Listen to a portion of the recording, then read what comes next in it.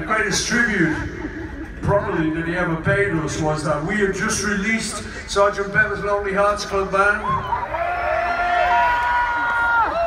We just released that on the Friday night. And two days later on the Sunday, Jimi had learned the song and he opened with it.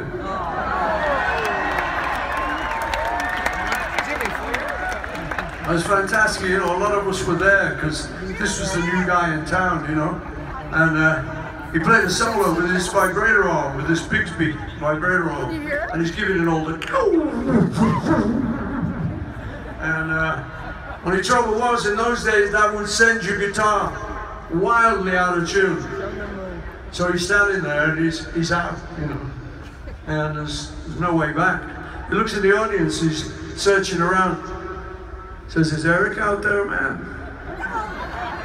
He's looking for Eric Clapton. And Eric was out there, but he doesn't want to know. He's cringing down.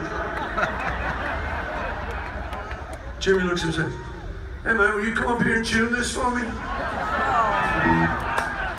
No. Tune it yourself.